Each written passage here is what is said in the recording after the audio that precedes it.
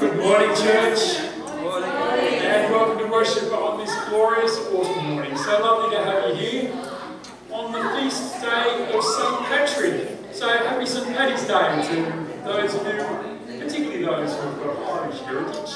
And um, what a glorious green day it is for those who are celebrating. Thanks, you wouldn't putting that uh, first slide up, thanks. We're going up to Jerusalem this morning. Jesus returns to Jerusalem for the celebration of the Passover festival. And in the going up, the people often sang the Psalms, the Psalms of Ascent. They were songs of invitation to come. Let's worship God together. And this morning I want to invite you to share with me in the call to worship that we would invite each other to come as we gather in. Come, young and old. Come, energetic and weary. Come, teachers and students. Come, thinkers and creators. Come, clean and dirty. Come, extroverts and introverts. Come, let's worship together and learn together. Come, let's listen together. And let's reflect on God's goodness and guidance in our lives. Please stand with me as we're able. Let us sing together Ancient of Days.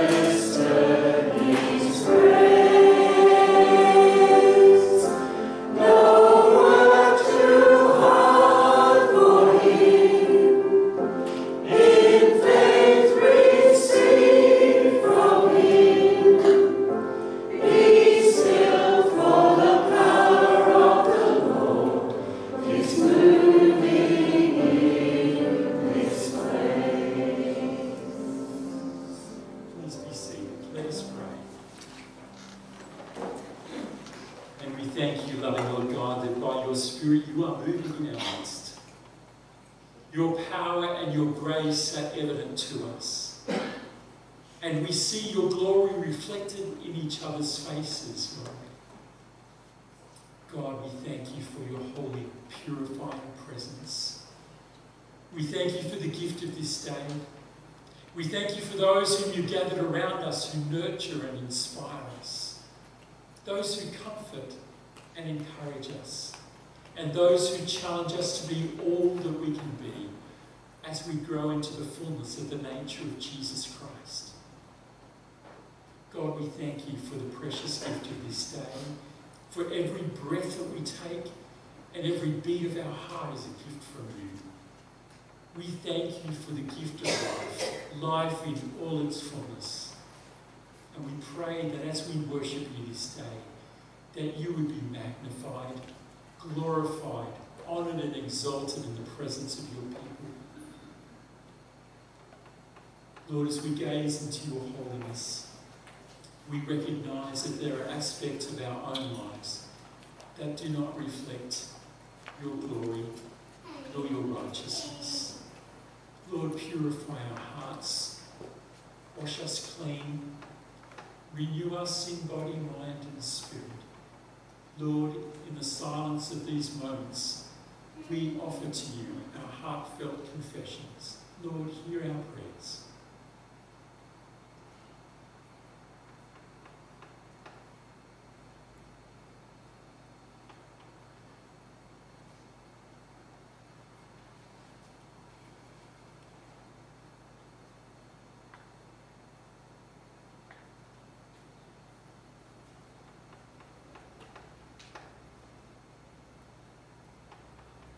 Holy Spirit of God, you are like a fire that burns the dross away, the chaff and the straw, leaving only the purified things. Purify our hearts, Lord God, we pray. May your light shine into the dark spaces of our lives. God, grant to us the courage to lay before you those patterns of behaviour and thought that are destructive to ourselves and others, that we may walk in newness of life in the grace of our Lord Jesus Christ. Amen. My dear sisters and brothers in Christ, I am confident to declare to you that because of all that God has accomplished in the life, the death, and the rising to new life of Jesus, I can declare to you your sins are forgiven. Thanks be to God. The peace of the Lord be always with you. And I invite you to share that greeting with one another this morning.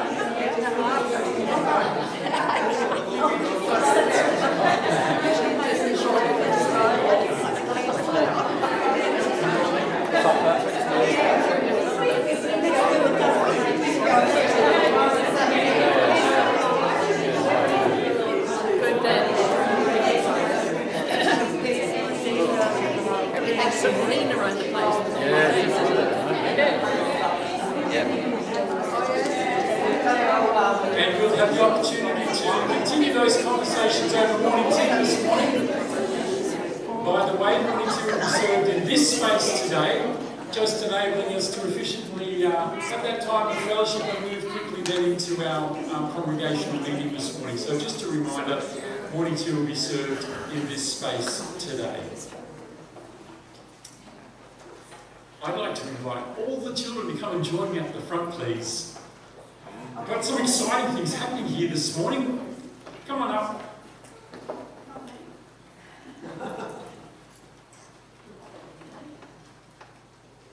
What do you see here?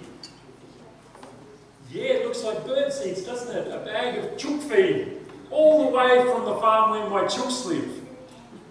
There are some ants in there. I'm sure they'll enjoy the ants as well. Now, can you identify the different seeds that are there? Do you, do you recognise any of those different seeds? No? What about these ones? Corn. That's right. Who likes popcorn? Me. Yeah, me too. I love popcorn. This is not the sort of corn that you can pop, but it looks the same, doesn't it? Yeah, that's corn. What about these ones here? Oh, does anyone? Long black seeds. Anyone help us out what they want? Sunflower seeds. That's right. There's sunflower seeds. Have you ever been, have you ever seen a sunflower? Golden flower. Well, they're the seeds that make the sunflower. But the seeds that we're going to be um, focusing on this morning are these ones. Do you know what sort of seeds they are? Do you know? They're wheat seeds.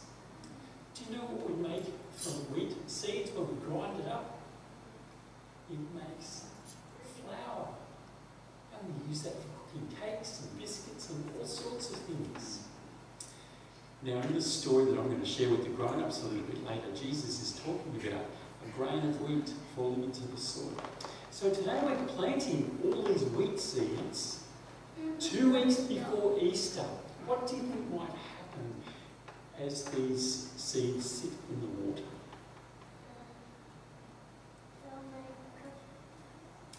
We won't quite get to the flower stage, but they will start to grow. Peter's got a special picture he's going to show us up here. The seed begins to germinate. It sprouts, that's right. And first of all, it puts a little root down, and then some more little roots, and then a shoot, and then you can see the green shoots poking up through the soil. And hopefully, on Easter Sunday when we come, and I know that you'll be away on holidays, but when you come back, I'll keep some for you, we'll see these wheat seeds shooting up new life. And that'll be the special message on Easter Sunday. Well, I'm going to plant these ones. Some cotton wool right down the bottom of the cup. And then saturate it with water. And give it a little poke down. And then we drop the seeds in. One, two, three. Now, when a farmer goes out to sow his seed, he needs to be mindful of how old the seed is. Because if the seed is more than one season old, then there might not be as many seeds germinate because the older the seed gets, the less viable it is. And so we're planting three seeds in each cup to make sure we at least get one. Now, this morning when you go out with Eleanor and Barb, you're going to be making some of these for yourself to take home and watch them grow. That'll be a special, it? Let's share together in prayer. Let's pray. Jesus, we thank you that you died on the cross for us and rose to new life on Easter Sunday. Just like the seed giving up its life and existence as a seed to become something brand new, full of life. God, we pray that you would help us to grow in our understanding of this mystery. Help us to understand your love. We pray for your blessing on our beautiful children as they go to their special time now. Your blessing upon their teachers too, in Jesus' name. Okay. Well, if you'd like to go with Eleanor and Barb out to Children's Church, and we'll see you at morning tea time. He's come a long way to be with us this morning. All the way from the depths of the southern part of the continent just to bring you announcements. John, welcome home. Great to see you here. And it's great to have you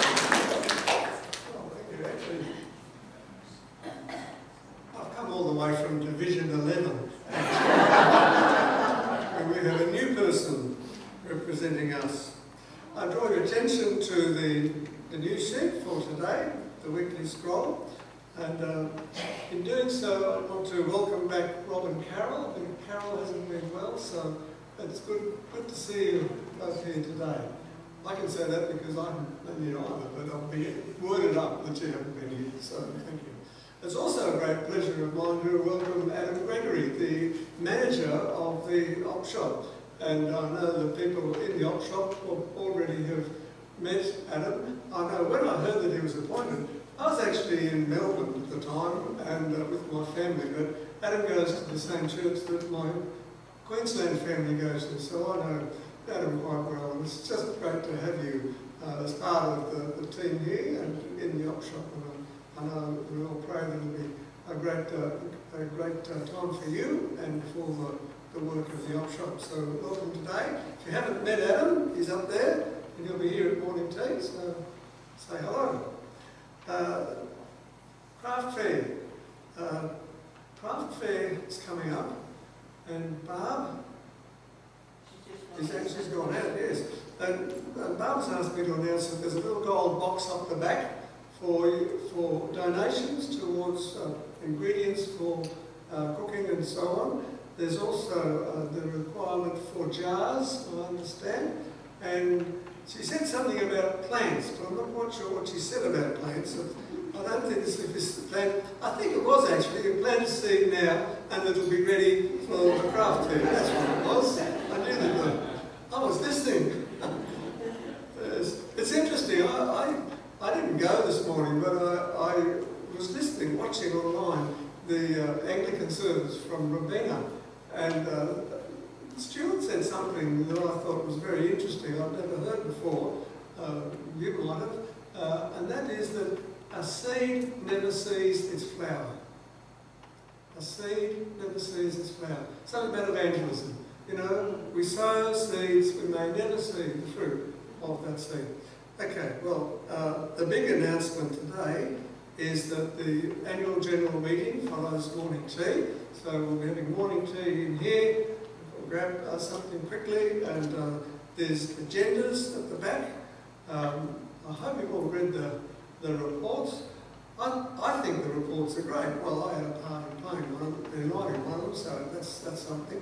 But uh, I particularly like reading Pete's report on the activities, not only what he's been doing, but what we've been doing as we've been developing the life and ministry uh, of our congregation here. It's a great summary of, of what we're doing, where we've been, and where we're going. So make sure you read that, but not during the sermon, of course. and on Good Friday, Pete and Amanda won't be here next Sunday. They'll be uh, celebrating a wonderful event in the life of their family in Coffs Harbour. And so we wish well on that.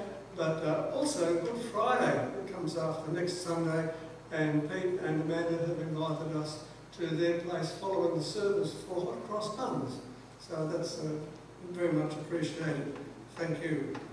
Now, um, Peter, the other Peter, Peter Harriman, has something right here. Uh, he's going to make some important announcements. Thank you.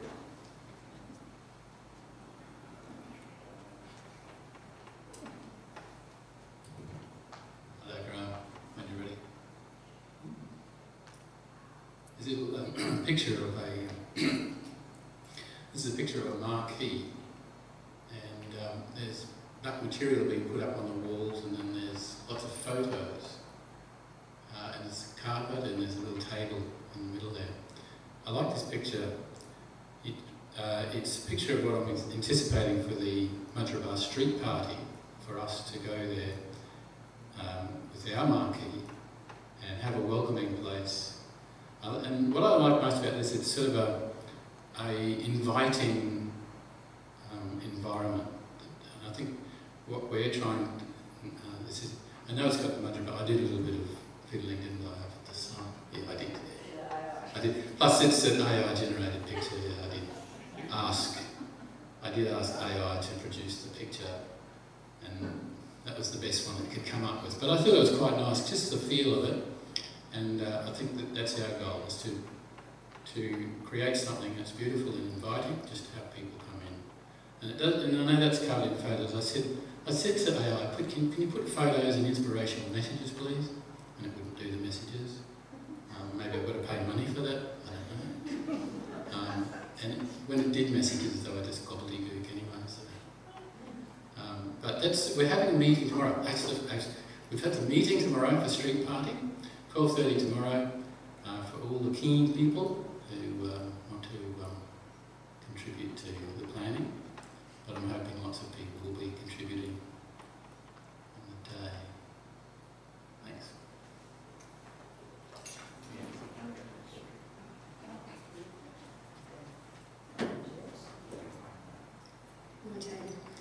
Um, I'd just like to say that um, we, with Easter coming up in a couple of weeks, we now have the little flyers out. That if you'd like to take some and, and invite some people along on the Easter weekend, so they'll be up on the back table. There's also some posters, um, poster-sized versions of these if you'd like to put them around. Um, now, with um, Easter Sunday, we're going to have a, a pretty special service. It's going to be a cafe church. So, as usual, it would be lovely if we could have a lovely morning tea um, on that day. So, any of you who would like to contribute to that, that would be fantastic. Um, but the, the other thing that we're going to be doing is um, we've actually done it before. We're going to be blossoming the cross. So what that means is that we'll be asking people to bring along a flower or flowers, as many as you like, and we will be actually decorating the cross in fresh flowers as um, a symbol of the beauty and the new life of Christ that he brings on that day. So just keep that in mind if you're a gardener. um, just don't cut your flowers on Palm Sunday. Just wait until Easter Sunday to bring them along. Thanks.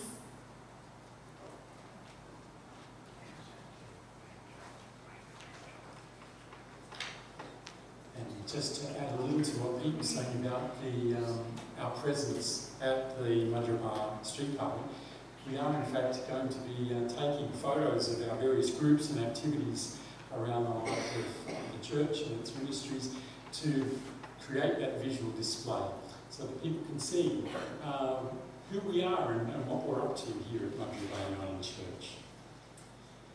I joked with those on this side this morning, I've taken the names of those who usually sit in the front seats here. Um, they'll be due uh, follow-up there. And it reminded me of a story about the opening of a brand new church.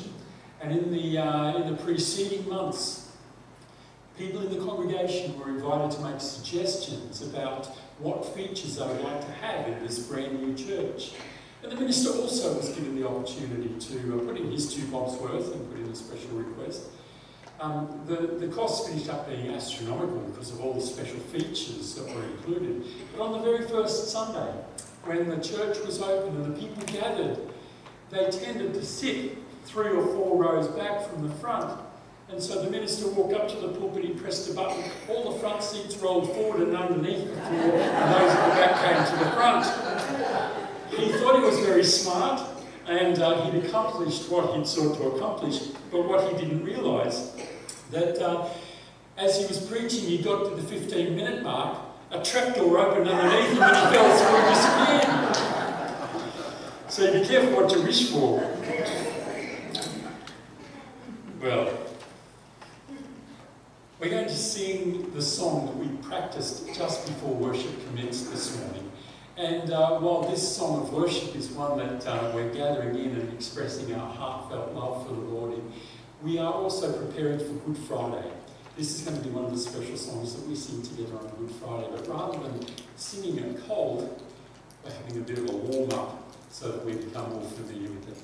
So let us stand together as we're able. Let's worship the Lord. As we sing together, it was finished.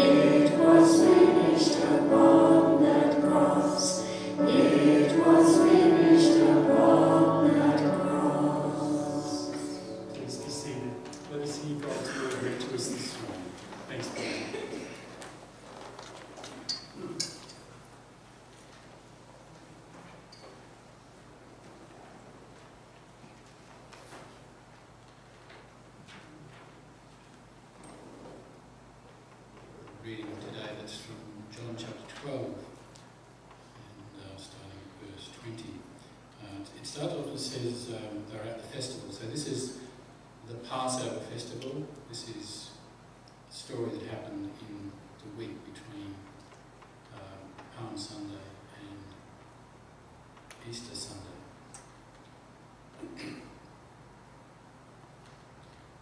Now there were some Greeks among those who went up to worship at the festival.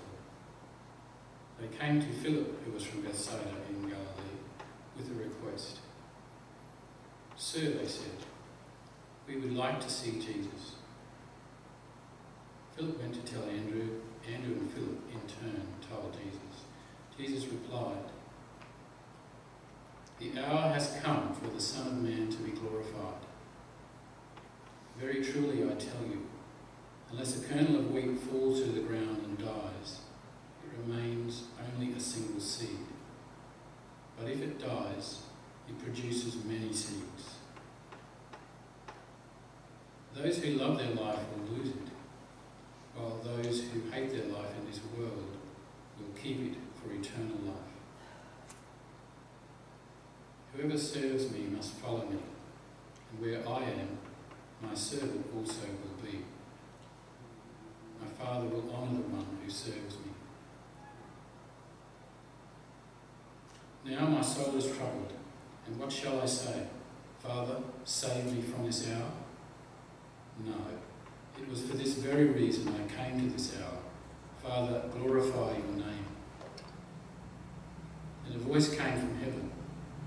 I have glorified it, and I will glorify it again.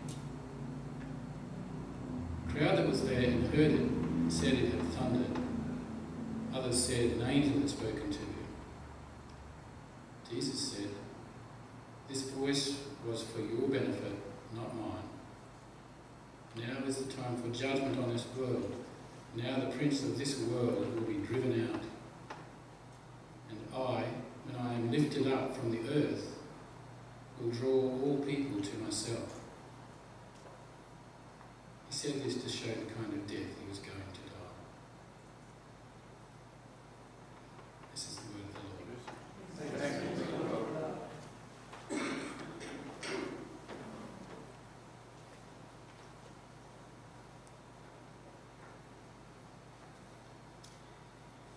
So I've entitled the message this morning, I Know Someone Who.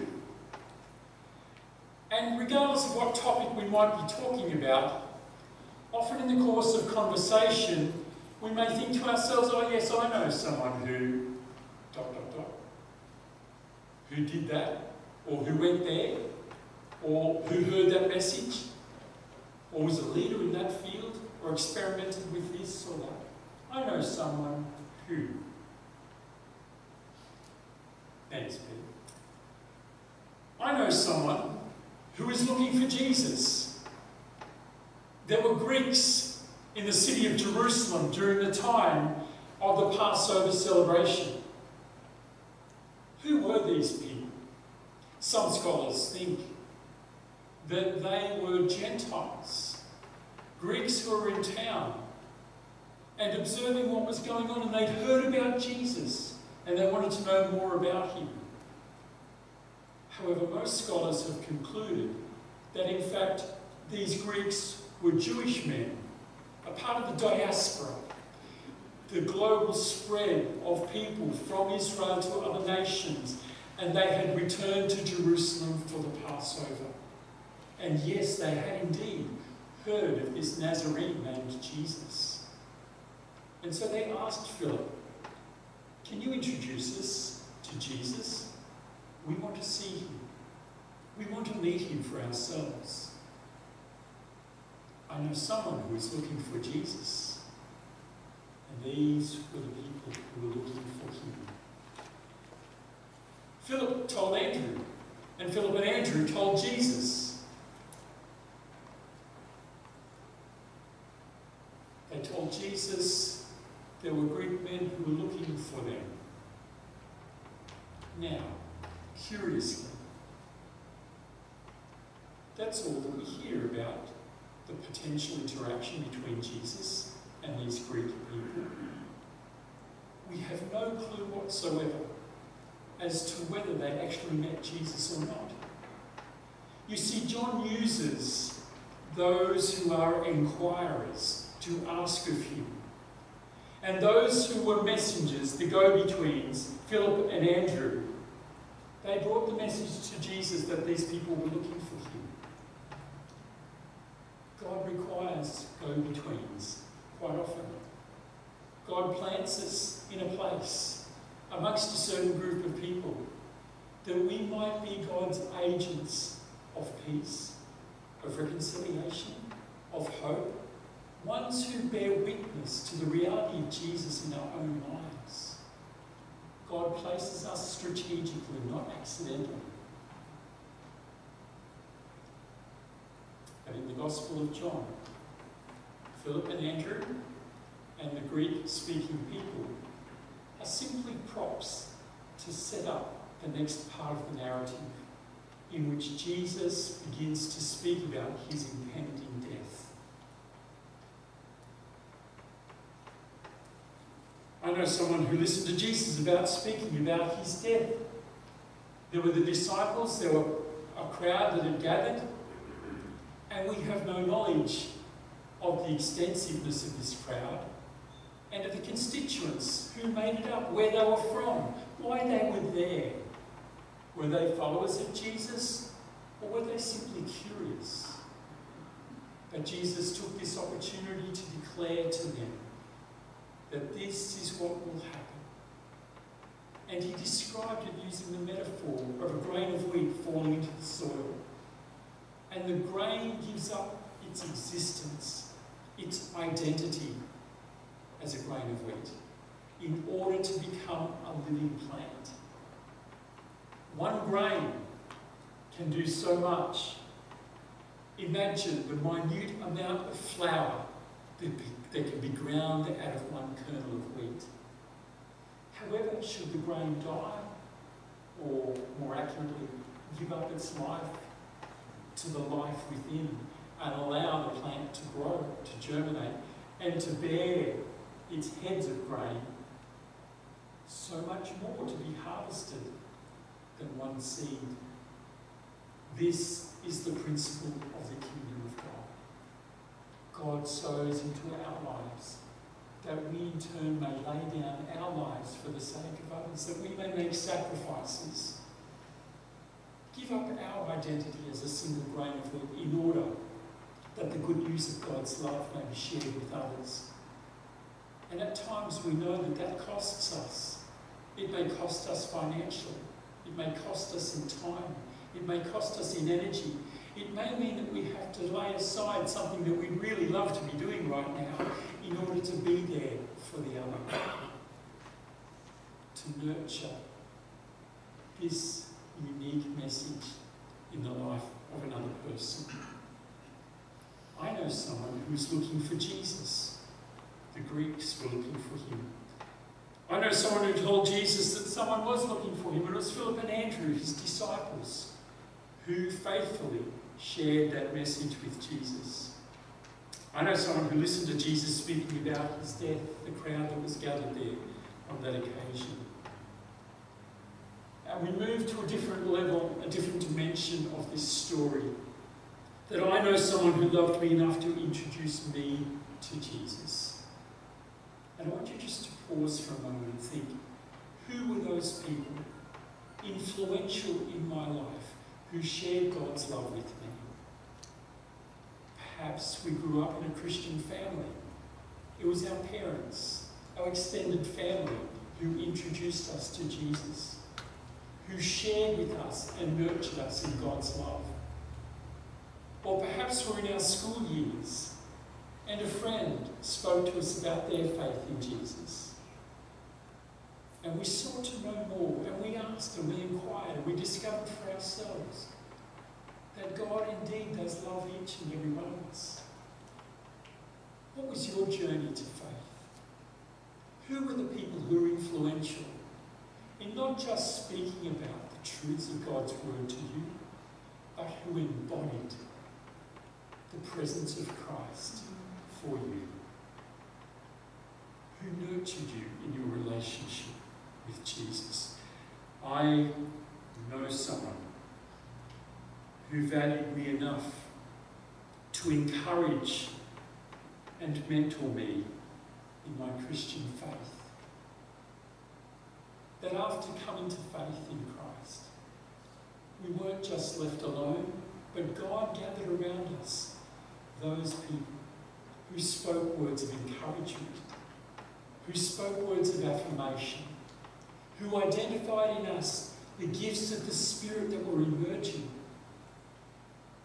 and nurtured in us the fruit of the Spirit that was growing. Who were those people who mentored you in your faith, who nurtured you, who encouraged you, who helped you to grow into the person that you have become, or the disciple of Christ that you are continuing to become? Because we know that that journey, that growth, that dimension of us becoming the fullness of all that Christ has promised doesn't finish before our mortal life ends. It is ongoing. It is continuous. The Spirit of Christ nurturing us, challenging us, inspiring us to be all that Christ is calling us to be. Often when I conduct funerals, people ask that I might share with them Psalm 23. And a part of what I often say in speaking about Psalm 23 is that as the shepherd took the sheep into the pastures, providing sufficient feed for them, it is like God, our shepherd, taking us into that place or gathering around us those people who are life giving to us. The pastures, just as they nourish the sheep, are like the special people in our lives who nourish us, who nurture and encourage us. It might be the person responsible for your pastoral care. Again, it may well be your parents or your siblings or a special friend. Perhaps it was a Sunday school teacher or a youth leader who on that role of feeding your soul in the name of Jesus Christ. But we are drawn beyond just being the recipients. We are drawn into this space of actually being people equipped by God to be that very same gift to others, to mentor and to nurture. I know someone respected me enough to seek my wisdom and my care. Who are those people whom God has brought into your sphere of influence that you have the opportunity to speak life giving words into their lives? Perhaps your children, your grandchildren, our extended family members, friends, neighbours, those within the life of our fellowship here. You might not even have explicitly thought of yourself as a mentor to others. That doesn't really matter. It's what the other person thinks that you are to them. Oh, I can never be mature enough in my faith to be a mentor or a coach for someone else in their Christian faith, or you would be surprised that in seeking to be a person who lives with integrity, of saying what you mean and meaning what you say, and that your talk matching your walk and your walk matching your talk, people notice. People notice the congruence of our faith and actions. They're observing what we're doing. They're listening to the words that we're saying. And we may never know the influence that we have positively upon the lives of others because of the way in which we live out our Christian faith. But be assured that for each and every one of us in this space today, there are those who are looking to us, following what we do, Oh, yes, there are those who like to watch what we do just to catch us up and to point out that how hypocritical we might be. Well, allow those voices to be silenced and raise the volume of the voices who are saying in the background that you may never know.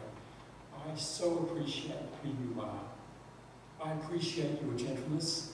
I appreciate your strength. I appreciate your integrity.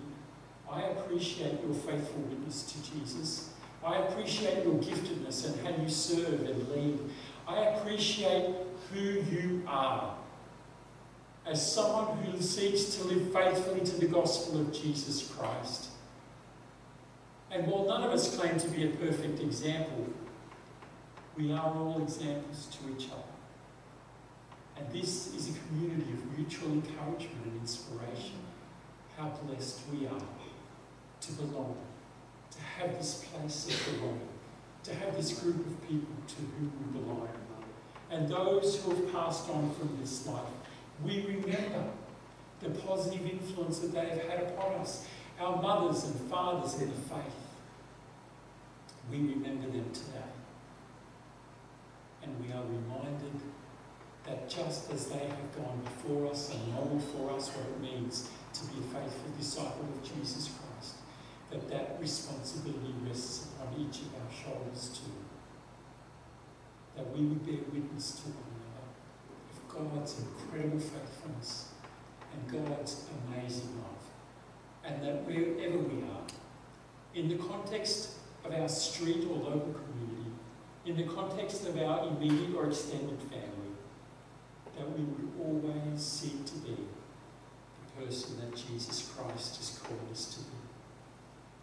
I know someone who lives their life in faith and humility, in courage, in strength, in grace, in peace, in hope. And I'm looking at you right now. In the name of Christ.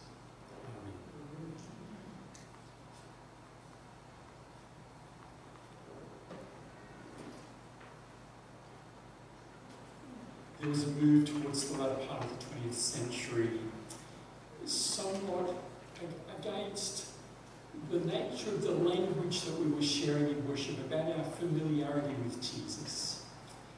As some scholars, some theologians felt that we had lost that sense of reverence for the Lord. When we spoke about Jesus as our buddy, our friend, our mate. And I know particularly in the Australian context, having shared in ministry in pubs with blokes, and we talk about Jesus being our mate. It brings a level of familiarity that some think means that we miss the divine. It's an incredibly significant thing to hold in balance. This nature of God being above and beyond us. But Jesus, having walked, walked amongst us historically 2,000 years ago, God taking on the form of being human. And God does invite us to recognize Jesus not only as our Lord and our Saviour, but our friend. One upon whom we can just cast ourselves into his loving arms to recognize his presence with us, to bring our prayers, our burdens and concerns. And this is an oldie but a goodie, and I know that you'll know it. What a friend we have in Jesus. And that we would recognize, yes, Christ is our advocate, in the very throne room of God, interceding for us. But the Spirit of Christ is moving amongst us, assuring us that Jesus is not only our Saviour and Lord, but our brother and friend. Please stand as you're able. Let us sing together. As we do this, we're going to give of our tithes and our offerings, and so I invite those who are serving us this morning that way, please to wait upon us for our gifts as we sing.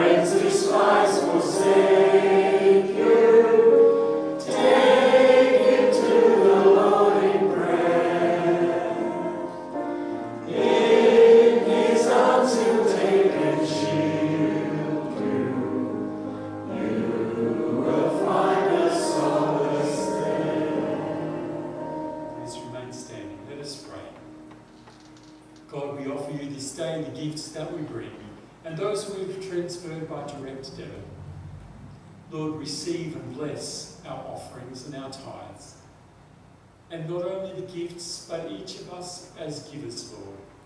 For again we offer ourselves to you as living sacrifices, holy and dedicated to your service. Lord, for this is the true worship that you desire. May we live more completely for you day by day. In the name of Christ. Amen. Please be seated.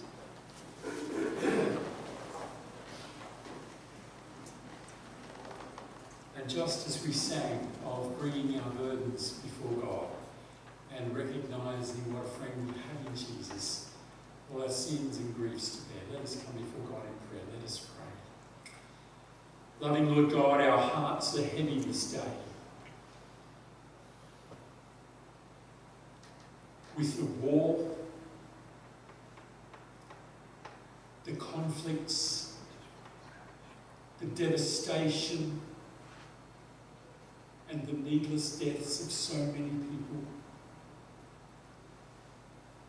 God, as we cast our eyes around the world, we recognize the destruction that is taking place in Gaza. We pray for the Palestinian people, Lord, that there would be a sufficiency in the provision of food, clean drinking water, and medicine that's required. Shelters, Lord, safe places for people to seek haven. And God, we pray for an end to this conflict. Lord, for the madness, the destruction of innocent human life as revenge and reciprocation for the insurgents of those who brought destruction upon innocent lives back in October. God, we pray for peace. Peace in Israel and the Palestinian territories. We pray for peace in Ukraine. God, we pray for an end to the conflict that is continuing to unfold there. Through the lens through which we look, God, we do not understand any dimension of appropriateness or rightness about the invasion that is taking place. God, we pray for restoration of the Ukrainian borders. We pray for the end of conflict and loss of human life. We pray for the nation of Haiti, for the ongoing conflict amongst the warring gangs, the discord and the confusion that has been caused by the resignation of the government leader. God, we pray for wisdom that you would raise up leaders who would bring peace, would bring restoration and hope to the communities of Haiti. God, we pray for those who are suffering the consequences of natural disasters, of landslides and floods, storms, those who are experiencing famine because of drought, lack of food. God, we pray for your provision, that through those of us who have more than enough, that you would move us by compassion to ensure that those who don't have enough food would have enough each day. We pray, Lord God, for our leaders elected at go local government level yesterday. For Tom Tate, for Glenn Tozer, for other members of the Gold Coast City Council, for whom their future may yet be uncertain, but for those who we know have been elected, God, we do pray for your leading of our City Council. We pray, Lord, for godly wisdom, for compassion. We pray, God, for ongoing sustainable development. Lord, we pray for hope in our communities. We continue to pray, Lord God, against the violence that people are experiencing in their homes. God, we pray for peace and for healing. We pray for those who perpetrate violence, emotional manipulation. We pray for those who suffer. God, we pray for your church in all its forms, colours, and textures around the world, in its variety of expressions of love and adoration for you. God, we pray that your church would thrive. We pray for the Christian churches across the Gold Coast, Lord, that in partnership together you would enable us to continue to proclaim the good news of your love for this city. And we pray for our sisters and brothers at the Wurrunggeri Mosque, which was opened just a couple of weeks ago. Lord, we thank you for our brothers and sisters in faith. Pray that they will know your blessing. We pray for the, the potential of partnership and friendship that may be established with them. God, we pray for our families. We pray for those who we know who have been sick, who continue to, to struggle with illness and disability, those who are preparing for surgery, those who are recovering from surgery, and those who are facing death. God, we pray that your peaceful presence would be known and that your healing hand would be upon each one. God, we thank you for your loving presence in our midst. And we commit into your hands the meeting of our congregation in just a little while, that you would lead us and guide us by your Holy Spirit. To you be the glory. In the name of Jesus Christ, our wonderful Lord and amazing Saviour. Amen.